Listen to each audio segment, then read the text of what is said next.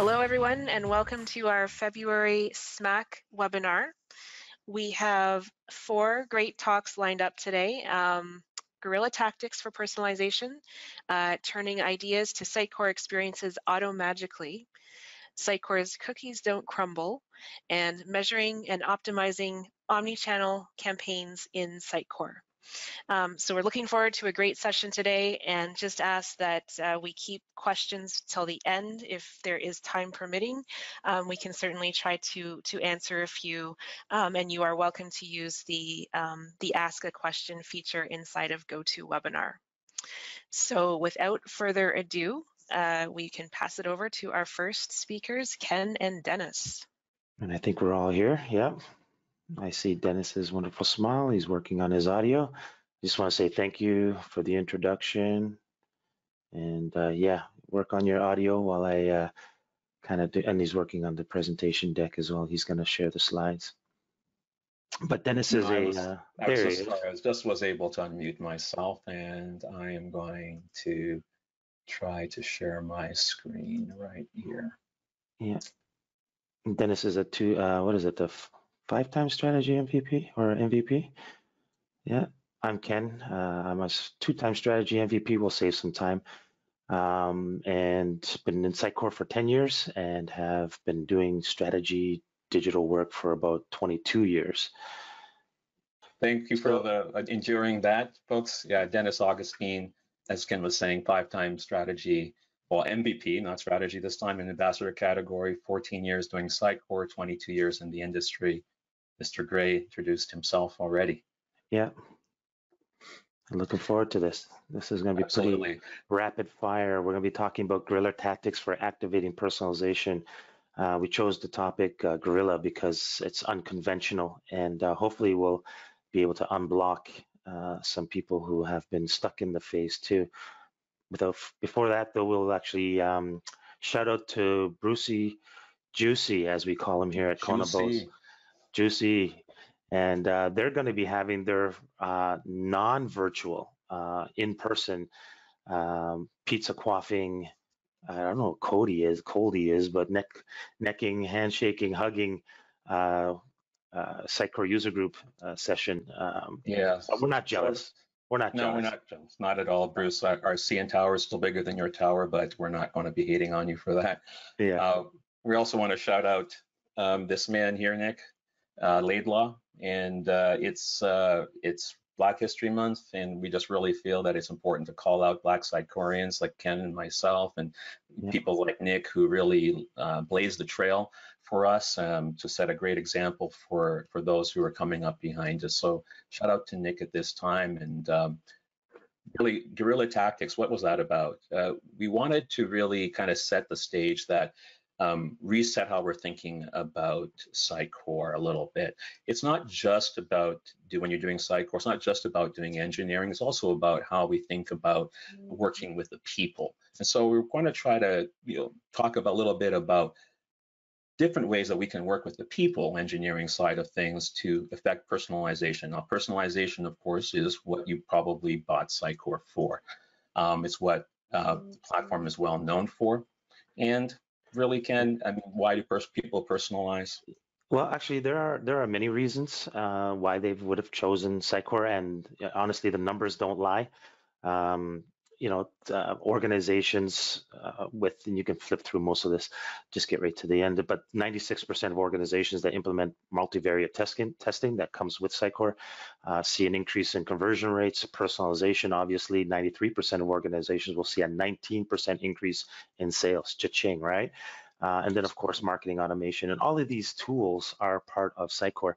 Um, and unfortunately, uh, not many of them um, implement uh, these these features, and I'm not sure why. Dennis, do you know why? Well, I mean, we hear the same reasons. I think you've heard it over uh, over the course of our careers. I mean, we That's hear right. things like, you know, we don't have time for that. Uh, it's complicated. Uh, we've always done things like this, and I remember working with, um, you know, one partner or an agency rather who um, had their own UX methodology, and we showed them all of the features of, of Sitecore and what they could do with with the UX um, personalization. But they were like, you know, well, we have our methodology, or you know, we'll leave that to phase two. And uh, we that know phase two thing, never happens. it never happens. We all know that it's the mythical phase two. And what we want to really hone in here on is ways that we can avoid phase two by taking on what we want to call guerrilla tactics. Um, Mhm. There is no phase two when it comes to personalization. Just like there's no content management phase, there's no personalization phase either. Personalization is something that we have to think about as an ongoing operational activity. And that's why, you know, we want to take on what we're calling a guerrilla mindset to that. So if you think about warfare, um, you know, you have conventional warfare, which is all about plans made in that back office, and guerrilla warfare just where decisions are made by people on the fields rather than the generals in the back office. Guerrilla uh, tactics are adaptive, uh, and they are things that really enable your business to be very agile. Agile. Amen. So Ken, why don't you just give us a few things that folks in the in the trenches and you know on the field can do to um, to really get it done now in phase Yeah, one? absolutely. And and you know what? Uh, some of these and most of these are fairly straightforward. I mean, we've we've heard of you know the ability to track goals, and and really it's uh, three steps. You know, one, define the goal. Two, assign the goal. So you can assign it to content. You can even assign it to an action taken on a form through submit actions. And then of course you just want to publish those items. And literally it takes 15 minutes. So for those who say they don't have time, honestly, it's it's 15 minutes to set up a goal and assign it to something and then begin tracking. Uh, tracking downloads. This one, uh, a few years ago, I wrote a, a blog post on this, and um, I was amazed that you know there was no uh, details out there in search, and so I wrote a post on it. But literally, you can upload a media item, anything that you want to have people download, and um, essentially click on the uh, ana- analyze button, click on attributes on the events tab, and you know click on uh, download, and within five minutes you can actually be tracking your downloads. Um, and again, it's very very quick. And something you can do as a content manager right Yep. away right in the platform. No need to wait for phase two. Just do that as you're uploading your media items. Uh, profile and tag something. Now this one takes a little bit more time um, because you uh, and most marketers kind of intrinsically know who their marketers or who their personas are or their target groups are. Um, so if you just pick one of those, uh, you can basically define three to five attributes very quickly within Sitecore um, through the marketing control panel, um, and then uh, tag again tag a piece of content with this profile, and within a few minutes, um, you're pretty much up and running with tracking uh, personas, and then you can personalize based on that. Um, so again, um, if you're not tracking it, uh, it can improve. And um, if you're not doing goals, if you're not doing personalization, if you're not doing um, any of the things we just mentioned, those tactics, then your analytics aren't going to show you the engagement value and seeing what content works and what doesn't work. Hundred percent. And you know, one thing that we've put here, these are things that content managers and marketing technologists can do today. And Yeah. we've highlighted here that really that's something that you can also use to show your own value. Yeah. Um, you know, in your organization, to show that strategic thinking that really lets the data advocate for you.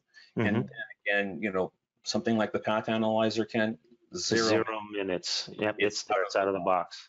Yep, go in there, see what the analytics is showing you and uh, what the path analyzer is showing you, where people are going.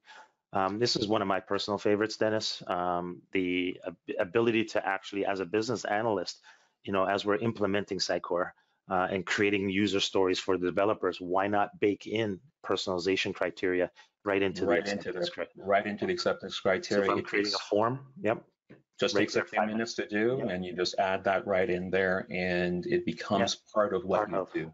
yep, exactly, as you're implementing Sitecore And itself. even before we get to that point when we're designing, you know, the user stories, we're defining user stories, UX designers can take Yes. a time, and we did that Very with big. clients. We did a day in the life of kind of scenario Mhm. um, where we can actually show how we can personalize the homepage so that you can stop all of those fights about the, over the homepage, who owns the Yeah. territory there. Um, and we're going to be a shout out to hey, coming up after us, Nabil and other contributors from the SMAC community who contributed to this wonderful white paper that you can download, UX for CX. So all of you UX designers out there, get acquainted with things that you can do, um, even before you define any of those stories to help personalization kind of take root in your organization. Yeah, like your hero banner, for example, right? Rather than just showing one version of the hero banner, you can show the three or four different versions of the hero banner and then make that part of the story. We're going to you know, implement personalization for each of these different variations. Um, and then, of course, you know, developers and QA speak up and just do it. I mean, you know what Sitecore is capable of, and as Dennis said, um, if it's not done, it's not done until it's personal. Um, Absolutely. so, I really love to say that to the folks because I mean, if we're if you are a developer and you get a story and it doesn't have a personalization aspect on it, and you know it's a form, there's no goals or whatever, just realize that you're probably best suited just to raise that as an issue. You're QA, and we're not you taking those things. Raise it. Um, Mm-hmm. you can on the ground affect some meaningful change in your organization. As leaders, um, I want to encourage leaders as well. Um, one of my quotes that I- everybody knows so well. Um, we don't want to just, you know, hire p- smart people and then tell them what to do. What Steve Jobs, you know, inspired us to do was to hire smart people so that they can tell us what to do. So as leaders, you want to be able to empower, hire, create guerrilla um, personalization kind of advocates in your organization.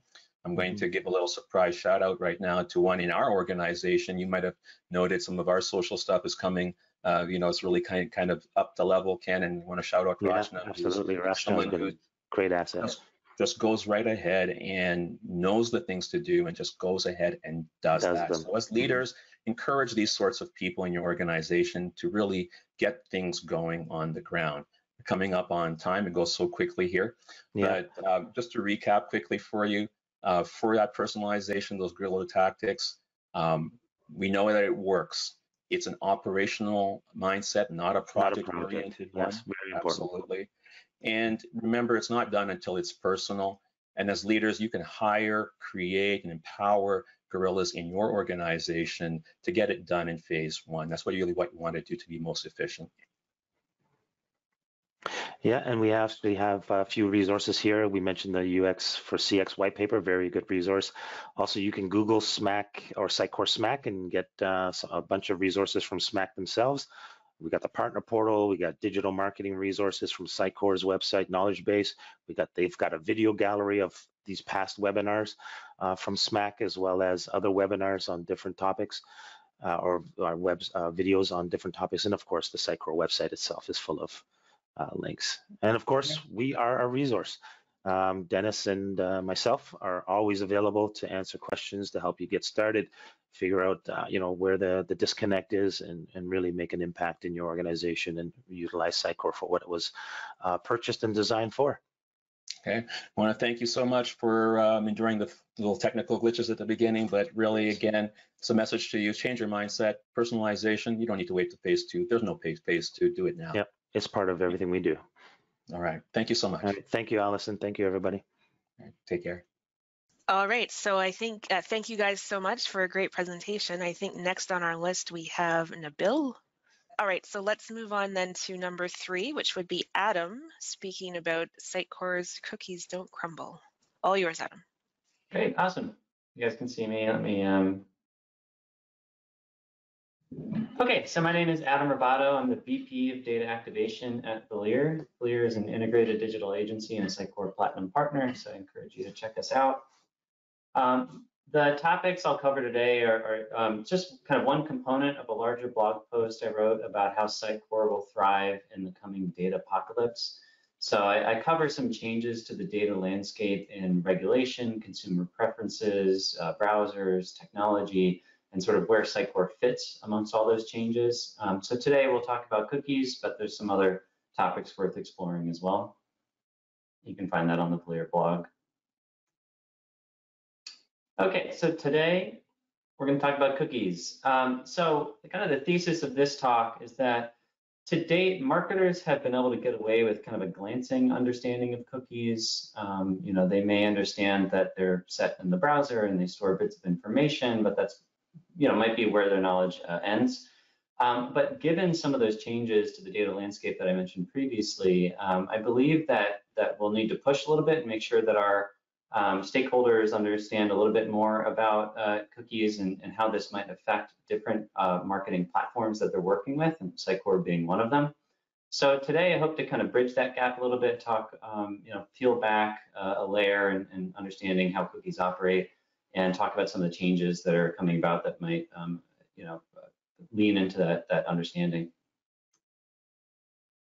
So by the end of today's presentation, uh, we should understand what the difference is between a first and third party cookie, what makes a cookie server side or client side, um, what type of cookies uh, does Sitecore use, and then why does all this matter? So let's start with that last point. Why does this matter? Well, if you or your uh, your clients depend on any of these features, um, they depend on cookies. So this you know extends from user login to analytics, A/B testing, advertising targeting, firmographic resolution, remarketing, all of this. It depends on cookies. And, uh, but they depend on different aspects of cookies. And so um, certain features here are going to be impacted to vary to different degrees depending on what type of cookies they depend on. So in particular, I'll call out firmographic identity resolution, you know, vendors like Demandbase or Kickfire, they're kind of getting squeezed right now by changes to uh, browser uh, technology as opposed to something like user login and user preferences, which are not going to really change anytime soon. Uh, you know, browser implementations of those features aren't going to change anytime soon. So depending on what features you depend on and depending on how your marketing stack is kind of orchestrated, it's good to have an understanding of how these changes to um, browsers might affect uh, one or more of these features that you're depending on. And, and, as proof of uh, you know some of these changes that are going on in the browser landscape, I would point you to cookiestatus.com.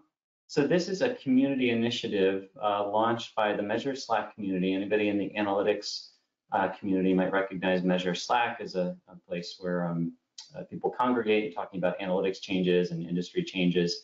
And so I have it up on my screen right here, cookiestatus.com. So it's an open source site. Anybody can contribute to the um, you know GitHub code that uh, contributes to this this site, and it keeps track of the latest implementation across different browsers uh, as they relate to storage, cookies, local storage, um, you know tracking those kinds of features. And you know you don't have to read any of this text here, but just to show that across different uh, browsers here at the top, it's a varied implementation, right?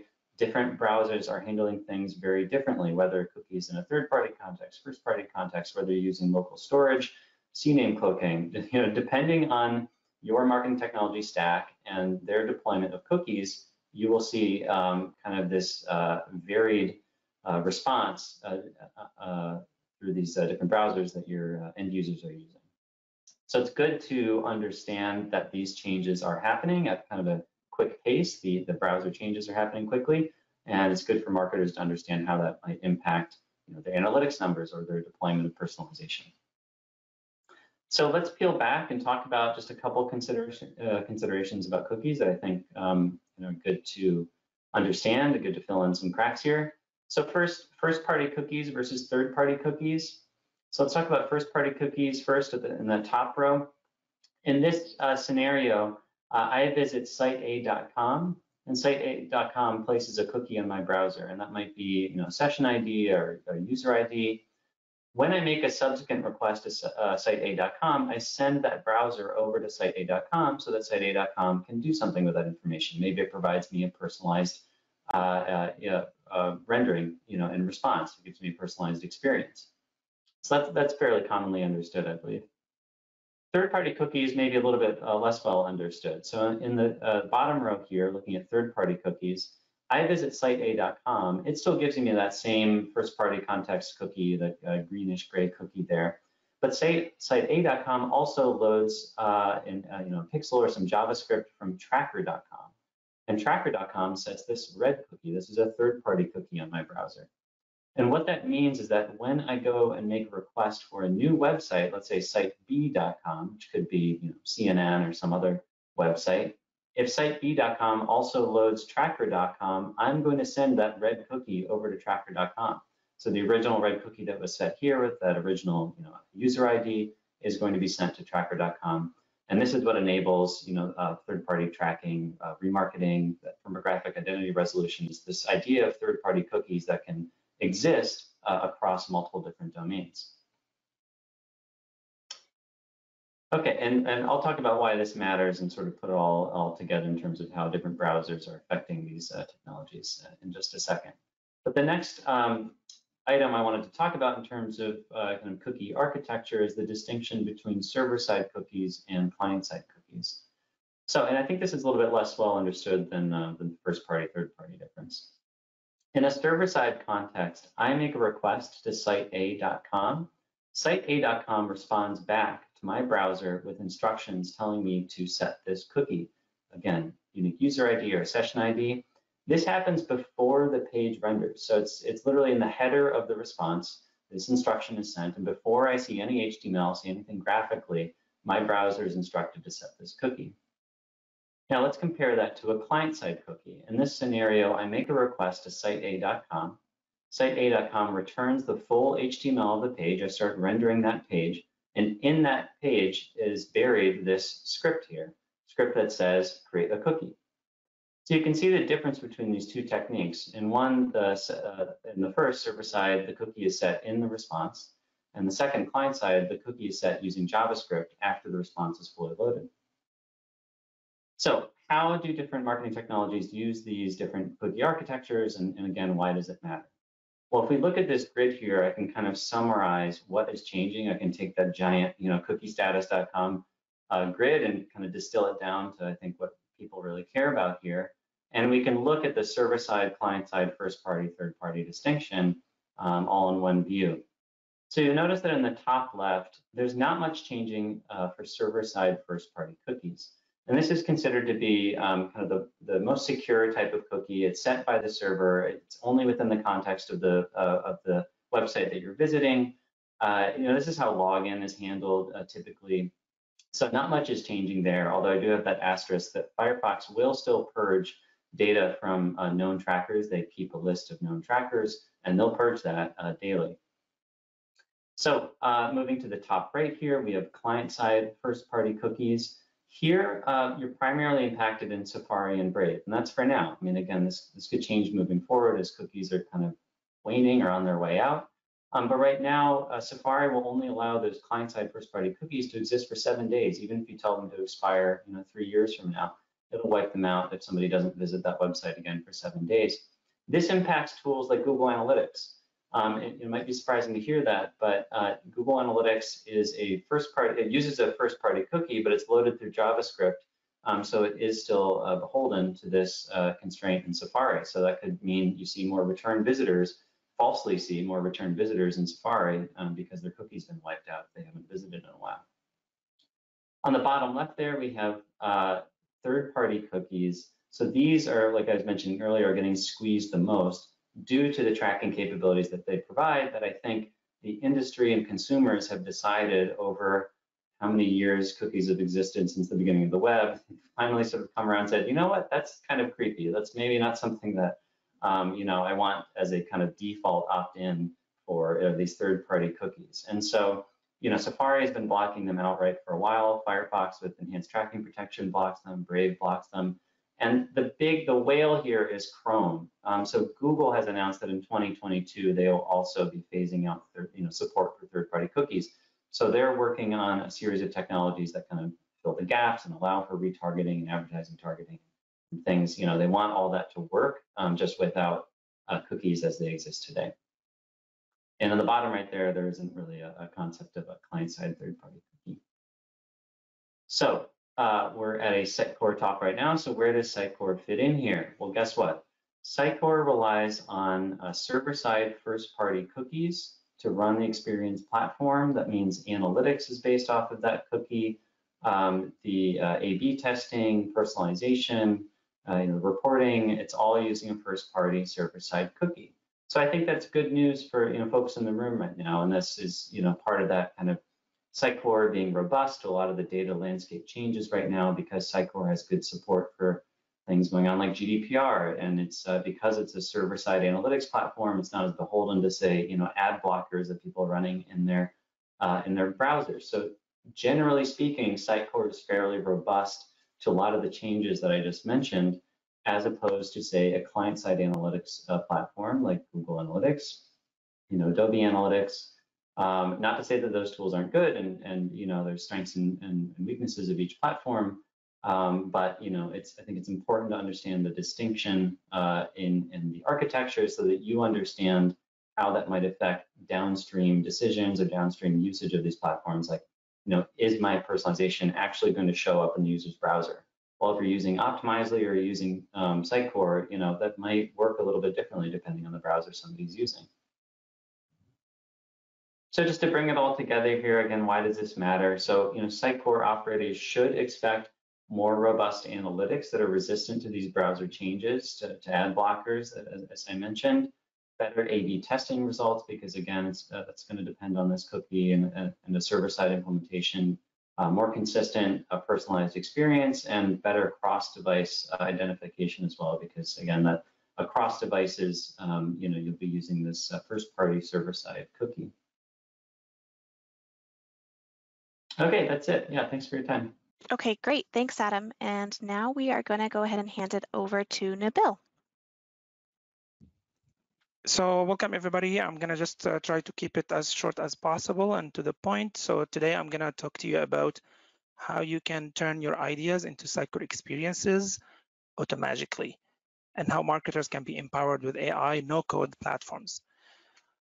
My name is Nabil Orfali. I'm a Sitecore strategy MVP uh, five times. I've been working uh, with Sitecore uh, since 2008. So it's like 13 years now. Um, I am also the founder and CEO of TechGuilds. Uh, TechGuilds is a, an, uh, a firm and agency that is focusing 100% on Sitecore. And we, we've been able to, uh, because of our focus, to finish more than 200 Sitecore projects in the last, last six years, small and large. So, um, okay. So today I'm gonna just introduce to you the, the concept of no code or low code platforms.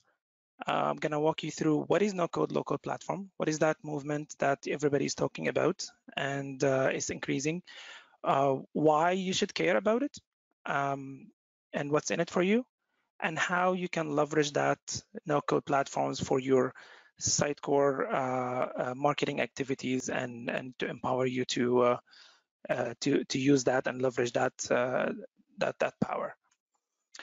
So basically, in, in simple words, uh, no-code platforms is a development platform that is visual, where you can really create apps and experiences with like drag and drop or leveraging artificial intelligence without really needing to write any single line of code, uh, without really relying on IT or developers as a marketer, uh, you're empowered to own that.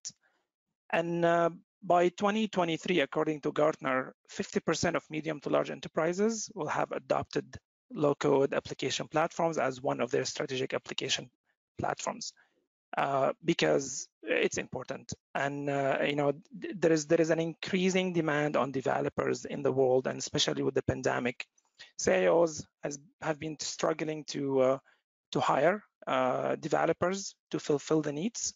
83% of CIOs are struggling to fulfill the uh, the, the, needs for developers, uh, let alone uh, you know the uh, the Sitecore developers and how you know on high demand right now on the increasing cost of and and salaries for for developers. So it is it is a problem and uh, we know when when we have now the the power of AI and uh, the ability to automate everything that AI touches, uh, the immersion of uh, AI, sorry, the no code and low code platforms are now uh, increasing uh, in the last five years so much. Um, the other thing is like your marketing budget is spent to build the, uh, the in the build phase. So as my fellow MVPs, you know, Ken and, and Dennis talked about the mythical phase two. And one of the reasons for that is that, you know, you spend a lot of your, if not all your budget in the build phase. And then when you get to the personalization uh, or the campaigns, you know, you still need to uh, to go and, and, and pay money to, uh, to adopt it. So why you should you care? Why should you care? Um, so low-code platforms or no-code platforms are going to empower you as a marketer and business to truly own the experience and truly own the creation of your ideas. You have an idea for a landing page, you have campaigns, microsites, you need uh, to add a component to your component library in Sitecore. You don't have to uh, go through the traditional uh, uh, legacy development process where you know you go to the design and you know UX design designers and then give it to a developer to do the IA and SA and then you know you put it to a front end developer and then back end development, testing, launching. You know, twenty thousand dollars later, you have your your component life. Um, with low code, no code platform, you can own that experience. Um, the ROI on that is great. Low code is a low risk and high reward. Businesses like uh, Schneider Electric launched 60 apps in 20 months, with most delivered in just 10 weeks. So imagine your, your app is delivered in 10 weeks, resulting in 25 3% ROI in seven months because they leverage the low code, no code uh, technologies and platforms. Um, Sitecore users, by the way, are not left behind. So all these great uh, uh, technology that is no code, low code, uh, there's an app for that. There is an app, uh, no code app for you. And I'm gonna just, uh, without further ado, try to make it fast and show you how you can really sketch something, a component, a landing page, an experience, and then with the power of AI, you can convert it to a working code, and then you can just uh, add content in the experience editor and then publish it. So um, I am gonna drag this window here. So uh, this is basically a low code, no code platform for Sitecore called Kajoo AI. It's built by TechGuilds. And I'm gonna show you now how I can upload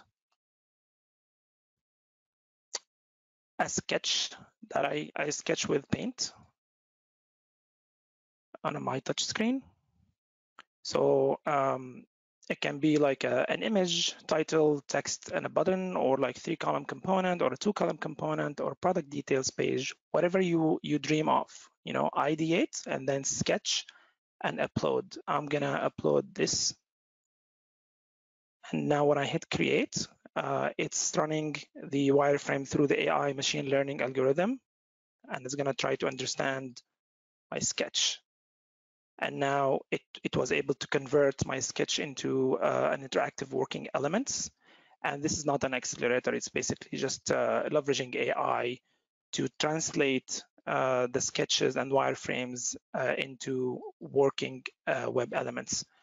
I am going to generate the code. I'm just gonna add a, a container here. You can see now I'm, I'm doing zero coding and the AI algorithm is coding everything for me in the background. And this is the decisions that the algorithm is making. So if I change the layout, it's changing the uh, all the code in real time.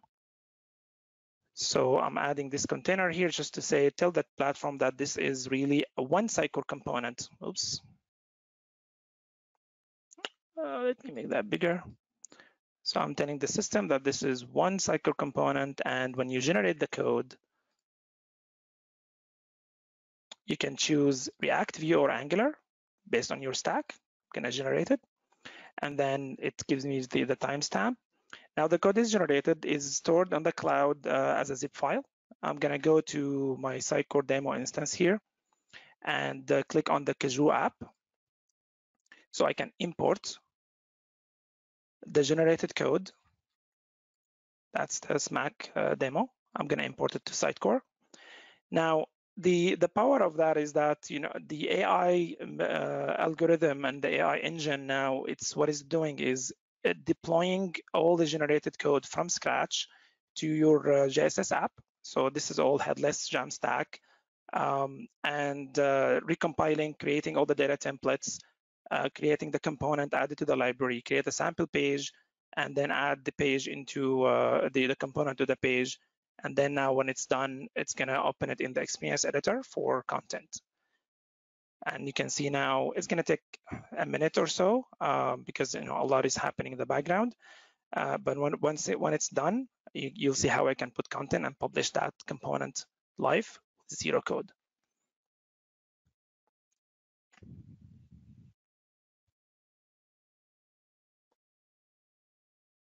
So um, basically, the rise of the no-code platforms uh, is is on the in the whole industry, all the enterprise, and uh, and now it's available for Sitecore users. So uh, you can truly be empowered right now as a marketer and business user to uh, sketch your page, your landing page, and uh, put it through the platform, get it coded for you using AI, and then put content and launch it.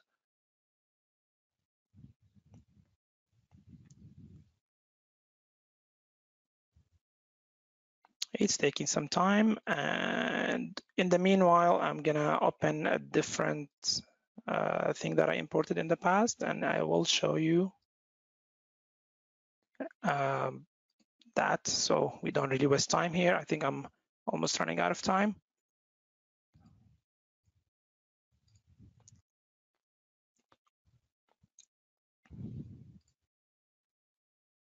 So this is one of the pages that I created with Kajoo in the past. I'm gonna open an experience editor.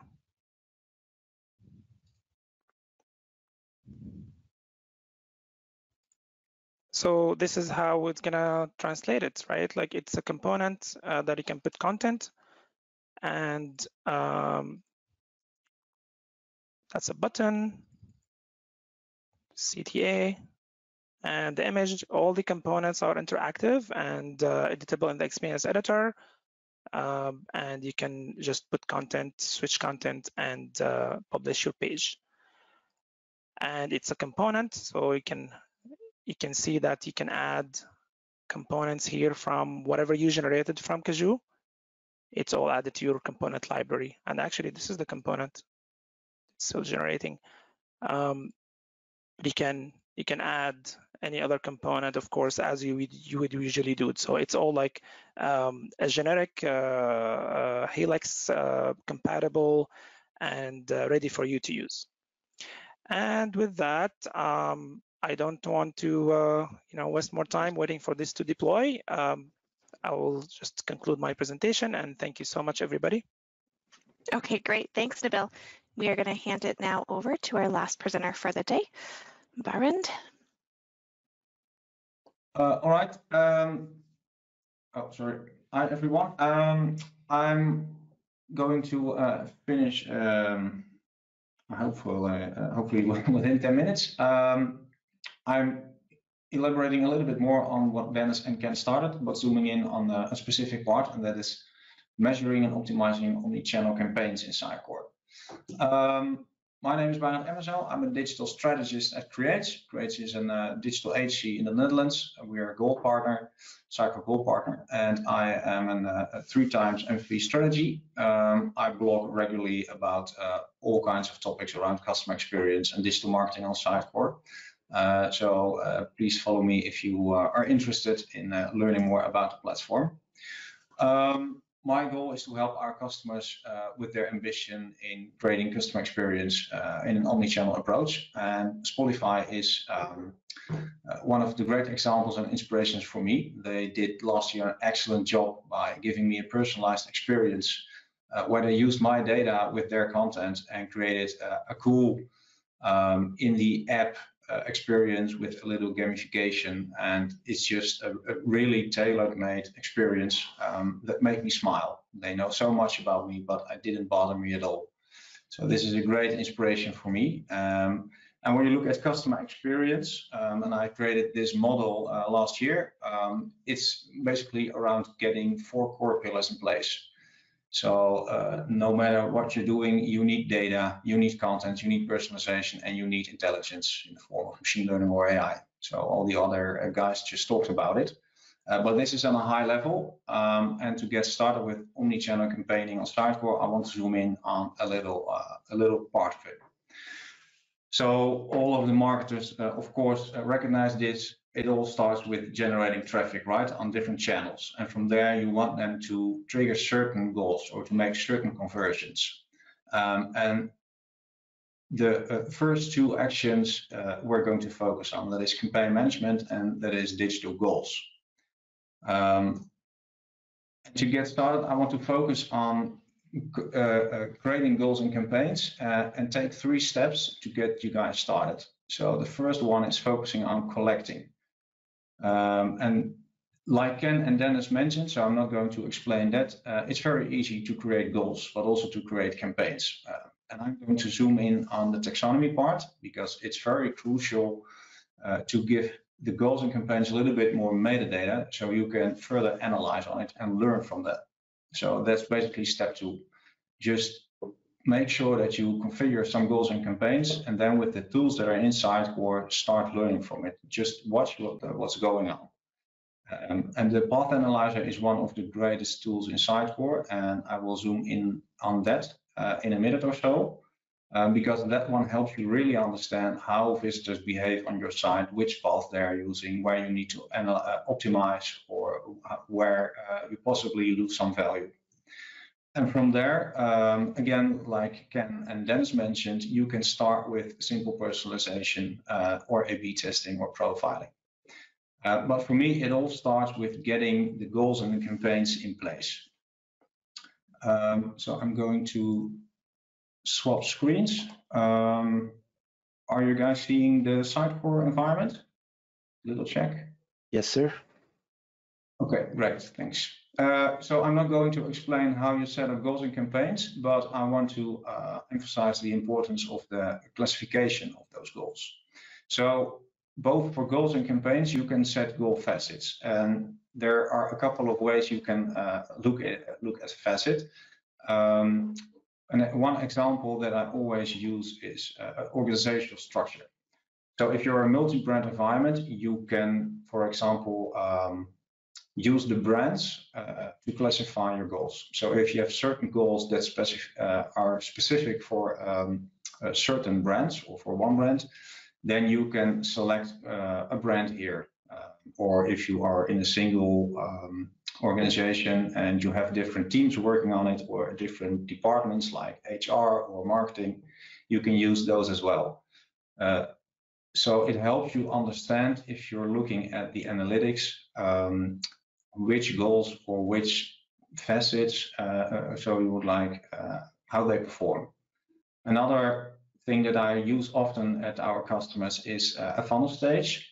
So if you imagine the see, think, do, care model of Google, um, you can, and I'm going to switch back just a little bit. Um, I use this model quite often. Uh, if you have certain actions in the different stages of the funnel, um, and you have certain goals or campaigns that you need to configure for each stage, you can classify them uh, that way. And it helps you understand how uh, engaged people are with certain conversions that you have configured inside or in which uh, funnel stage. Um, there are a couple of other ideas that you can use. Uh, I have written a blog uh, today um, where uh, I have shared some ideas. Um, but what you can do with it is in the experience analytics, when you go to goals and the goal facets, um, you can zoom in on some details. So here you can see the unit team facet and the funnel stage. But if I click the funnel stage, I will zoom in. And here you can see how the different stages uh, uh, perform. So you can look at conversion rate, conversions, visits, and it helps you understand um, the uh, performance of the different stages in your funnel. Um, the same applies for the campaigns, uh, but I'm not going to explain that. Uh, it's the same principle. Just configure your campaigns, think of how you would classify your campaigns by using the campaign facets, and um, you can get the same results. All right, the last thing that I want to talk about if you have set up some basic goals and campaigns is the path analyzer. So the path analyzer is a great tool. Let me make it a little bit uh, easier to see. Um, and it gives a visualization of the different uh, uh, paths that visitors follow on your site. Um, there is something in my view. Um, if you click on reports, then you can see, for example, uh, which path has the highest visit, and you can uh, follow these uh, 10 items to see in which order they, uh, they appear. You can change it to highest value to understand which paths have the highest value. Um, and if you click on items, you can see uh, if you leave your mouse on it, which page it is, how many value it created, how many visits, etc. But this is the basic, um, the basic map. So uh, it, that's how it's called, a map. Um, but you can create all kinds of overviews with it. So remember the goals and campaigns, um, and campaigns are good um, to track the external uh, traffic coming from social, social ads, or from search or email, um, because that's the way campaigns are used. So if you have a Facebook ad uh, in multiple variations, you can create individual campaigns, um, and Sitecore can track and recognize the traffic coming from those campaigns by a unique ID that is added to the URL. Um, and with that, you can analyze in the path analyzer how things behave. So starting with goals, um, I have um, uh, a specific, um, no, that was not the right one, I guess. Um, I, let me check where I have data. This is my local uh, demo environment, so I don't have that much data, um, but it's good enough to explain what's going on. So I've created um, a specific map for a specific goal. So let's say that my data model goal um, is the ultimate conversion for my site or for my campaign. So I've created a custom path map where I can see now all the different paths that users followed um, in order to, in the end, uh, uh, convert or uh, trigger this goal, which is my ultimate conversion. So this way, um, I can understand where people uh, start, where they coming in, and how they receive the goal trigger. Uh, the same thing I can do for example campaigns. So I have a specific campaign, a Google ad, I created a campaign map for it. Um, and this campaign now shows all the behavior in terms of paths um, for this specific campaign. So I can analyze um, behavior for traffic coming from this specific campaign and for this specific channel. I can also do the same on channel level, um, but I want to end with a last one, the experience map. This is a really powerful one. Here I can do a lot more. So what I've created here is, and let me apply that. I have created uh, a map where everyone that's coming in from the internet, it's uh, uh, often the starting point uh, within Sitecore for this uh, tool. But in here, I have on the highest level my campaigns. And from there, I can see which goals are triggered in which order. Now, is a kind of a weird view because I have a local environment with a lot of clicks in random order. Um, but I've used this with a couple of customers and they saw some really interesting things. So they have um, used some Facebook ads um, to cr create and generate traffic um, and the expectation was that a certain Facebook ads would perform the best. But in the end, there was another referral channel that uh, created much more traffic and uh, with much higher value. So they understood that the ad spend was not uh, uh, uh as good as they hoped for. Um, and here you can see that the larger and darker green the, uh, the item is, it's always explained here um, the more value per visit. And the thicker the path is, the more traffic. So this way you can understand how campaigns uh, and, and goals from those campaigns on your site, um, how they behave and how they relate to each other. Um, you can do a lot more. Um, if I'm going back to the experience editor for one second to show you, um, if you are, I this one is better. If you go to the marketing control panel, um, you can create custom path maps there. Um, and with the experience map, uh, it's located under the path analyzer map, default maps, global maps. And in here you will see all the sections that I had in the path analyzer. Within the experience map, you can just click and insert experience map. And the same applies for this uh, uh, versions. Um, but I want to show you one thing. Here you can determine what you want to include. So let's say that you only want to include the channels um, with goals that uh, had value, the engagement value, you will get something like this. Um, and if you have set up the classification of your campaigns right, where you can select which channel applies for which campaign, so for example, a social a Facebook post uh, a social uh, LinkedIn post or LinkedIn ad, you will get an overview of the different channels on the highest level, um, which is this, this level, um, and then whatever you have selected here. Um, and it really helps you analyze those. And one last thing, um, you can use the rules engine in Sitecore as well to filter. So with it, you can zoom in on specific campaigns, specific channels, specific goals, and even specific profiles. Um, and, and at that, sorry to interrupt, we are at time. We have about right. five minutes left. I'll let you finish your sentence though, and then we need to, Oh, that, we need to wrap up. That- No, no worries. That was the last one. So Okay. uh, let's finish it with that and back to you, Amanda. Okay, great. Thank you so much. Um, and I'm going to go ahead and have Tomas share his screen. Any questions on the four presentations that we had? We are at time, um, five, five minutes left. You can also use the chat as well. Okay, why don't we, if those do come across, we can address them. Why don't we move on? I do want to highlight that the newsletter and the next webinar are coming out soon. So we do want to just highlight that these are great ways and channels that we leverage to share knowledge. So please be aware of those, send in any articles and any videos over to us. This is the SMAC members team and the contact email is right there. Awesome. I have a question that's not necessarily related to the talks, but um, do we have a SMAC website or something that we can go to that's specific for SMAC on sitecore.com? What? No, not on sitecore.com. But what are you looking for? What kind of information or what kind of? Uh, Just a, a- a just a general repository of everything SMAC uh, and strategy related. Because I, I found that I had to Google and then uh, everything is kind of spread out across the community um, over in different places, but no central place where we can go and get everything that was uh, strategy related for Sitecore.